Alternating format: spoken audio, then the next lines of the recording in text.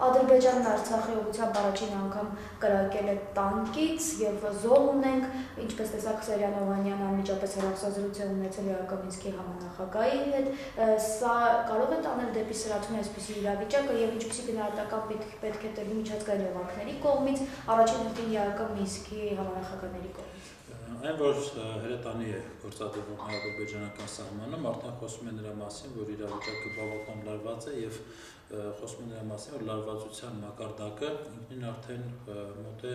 ամենաբարձր աստիճանին։ Սա միանշանակ ակնհայտ է եւ բարձր որ պետք է անապահ քայլեր ձեռնարկել առաջերտին Ադրբեջանի այդ ռազմատենչ քաղաքականությունը զսպելու ուղղված քայլեր։ Ես չգիտեմ թե որքանով Միսկի խմբի համանախագահները կամ ԵՎԿ նախագահի անձնական ներկայացուցիչ Անջեյ Կասպարշիկը կարող է ինչպես որ նա խոստացել է Սերյան Օհանյանին ազդել իրավիճակի վրա կամ Ադրբեջանի քաղաքացիության վրա բայց փաստային է որ այո հիմա գլխավոր խնդիրը կայունության քիչ թե շատ այսպես ասած ընդունելի մակարդակի պահպանումն է իսկ ընդհանուր առմամբ Ադրբեջանը կարող է գնալ պատերազմի, թե սա լարվածության որոշակի փուլ է, որը եւս շուտով անցյալում կլինի, ինչպես նաև լարվածության այն փուլերը, որոնք դեռևս անցած տարվա օգոստոսից ուղեկցվում են սահմանում։ Դեք ես անընդհատ եղել եմ եւ շարունակում եմ մնալ այն համոզմունքին, որ Ադրբեջանը լայնամասշտաբ պատերազմ վերսկսելու համար որևէ քայլ չի անելու, նա չունի այդ ռեսուրսը, չունի պատրաստվածություն պատերազմ վերսկսելու եւ բնականաբար չի կարող նաեւ վերսկսել այդ պատերազմը։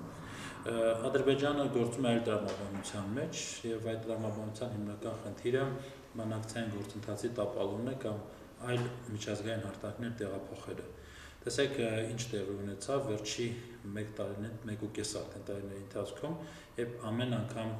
երբ որ կա ինչ որ ծրագիր կամ համաձայնություն ձեռք բերելու ռեալ շանս, Ադրբեջանը լարում է իրավիճակը սահմանում եւ միանգամից բանակցային գործընթացի տրամաբանությունն ու քննարկման թեման փոխում է։ Ձևաչափի փոփոխության անհրաժեշտություն չկա, տեսեք սա եղավ այն ֆոնի, երբ որ ակտիվորեն քննարկվում էր Ալև Սեր Սարգսյան հանդիպման հավանականությունը կամ ապագայում սպասվելիք հանդիպումը։ Սա չի նշանակում, որ իրապես փոփոխության կարիք կա։ Սա նշանակում է, որ այն ձևաչափը, որի շրջանակներում ընթանում է բանակցային գործընթացը, ձեռնտու չի Ադրբեջան եւ Ադրբեջանը փորձում է փախնել այդ ձևաչափից իրենց տեսակետից այո կա դրա անհրաժեշտություն, հայկական կողմի տեսակետից չկա այդ նման անհրաժեշտություն եւ այն ձևաչափը, որը գործում է, փաստացի այս պայմանությամբ մեզ համար բավական լավ եւ հետաքրքիր ձևաչափ է։ Ադրբեջանը այս տեսակետից իհարկե չի կարելի թույլ տալ, որպեսզի Ադրբեջանը շանտաժի միջոցով կամ թեկուս նեման սադրիչ գործողություններով, գրակոչներով լարվածությամբ կարողանա հասնել իր արժե դրված խնդրին։ Սա անթույլատրելի է հայկական կողմի համար, անթույլատրելի է նաև միջնորդ պետությունների համար, որոնք 20 տարուց ավել բավական լուրջ ջանք ու երանգ են ներդրել ինչ որ արդյունքների հասնելու համար եւ բնականաբար պետք է նրանք նույնպես իրենց կողմից ամեն ինչ անեն, որպեսզի Ադրբեջանը չկարողանա քանդել տասնյակ տարիներով ձեռք բերված եւ ճիշտ է շատ հասկանալի իրավիճակը, որ այսօր կա մեր հարաբերություններում։ Բայց ինչ վերաբերում է Ադրբեջանի այս քաղաքականության, ապա այո, ես կարծում եմ, որ դա հենց պայմանավորված է հանգամանքով, որ վերջապես հաջողվել է Ալիևին բերել բանակցությունների շուրջ, համենայն դեպս դրա մասին է վկայում մեր արտգործնախարարի եւ համանախագահների հայտարարությունները, որ այս ամիս պետք է տեղի ունենա այդ հանդիպումը, եւ երևի Ալիևը փորձում է փախնել այդ հանդիպումից։ Անեն ամեն ինչ, որպեսզի միգուցե հայկական կողմը հրաժարվի այդ հանդիպումից եւ այլն, բայց որպեսզի այդ հանդիպումը չկայանա։ Չգիտեմ հաշվարկները ինչքան խորն են գնացել Ադրբեջանի, բայց փաստային է, որ արդյունքում մենք ունենք մի իրավիճակ, երբ որ սահմանում արդեն տանկերով են միմյանց դեմ աշխատում, հա, դեռ իրենք մեր դեմ աշխատում, բայց բնականաբար կարծում եմ, որ պատասխաններ միշտ համարժեք պետք է լինի։ Տեսեք համարժեք չեն ՀԱԿ նիստի համանախագահների գնահատականները սահմանային լարվածության վերաբերյալ։ Միշտ երկու կողմերին հավասարաչափ կոչեր են անում հրադադարի ռեժիմի պահպանման, այն հրադադարի ռեժիմը արդեն տարիներ շարունակ բարբերաբար առաջինը խախտվում է հակառակորդի կողմից, այսինքն իրեն իրենց անունով չեն կոչվում այն Մեծ ընդհանուր առմամբ այո ճիշտ է, բայց պետք է ասել, որ այս տարվա մեջ գոնե թե երկու հայտարարությունների մեջ հստակ հասցեավորված մեղադրանք կար, կամ հստակ հասցեավորված կոչ կար դեպի Ադրբեջանին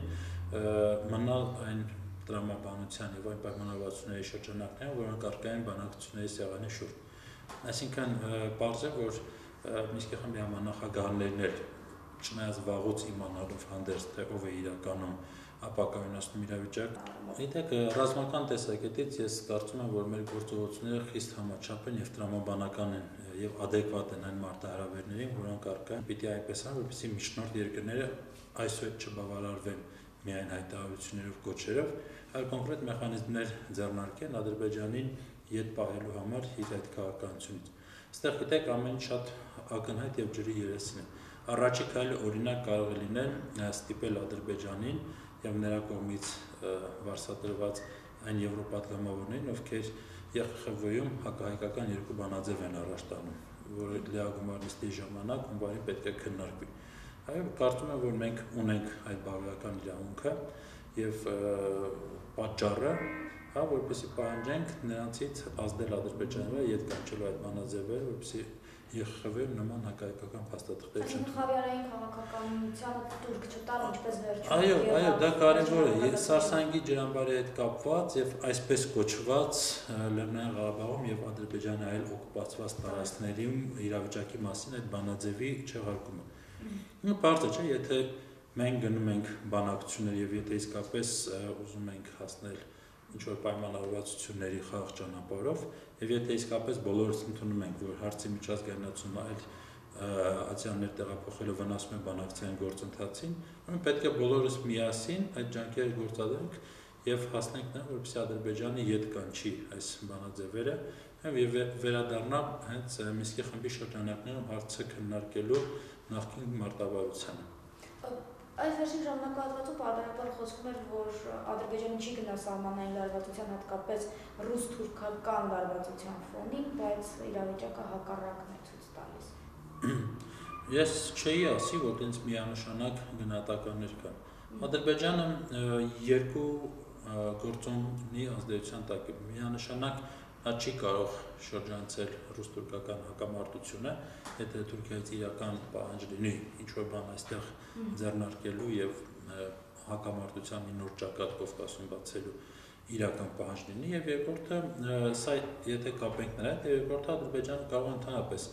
իր քայլերը պայմանավորել բացառապես հայ հայ-ադրբեջանական հարաբերություններում արկա իրավիճակներով։ Ես կարծում եմ, որ այս դեպքում կոնկրետ այն ինչի մենք ականատես եղանք 3 դրանից առաջ մի քանի օր առաջ եւ վերջի օրերի դիվերսիոն չի եղել, բայց ռմբակոծությունները